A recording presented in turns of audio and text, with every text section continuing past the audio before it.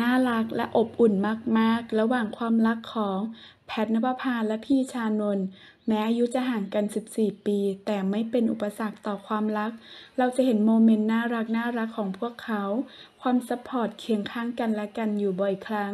อย่างล่าสุดพากันไปดินเนอร์ 3 คนพ่อแม่ลูก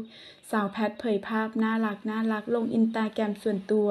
มีภาพอยู่ด้วยกัน 3 คนโพสท่าหอมน้องเรซซิ่งอย่างน่ารัก จนแฟนคลับอดจะคอมเมนต์ชมกันไม่ได้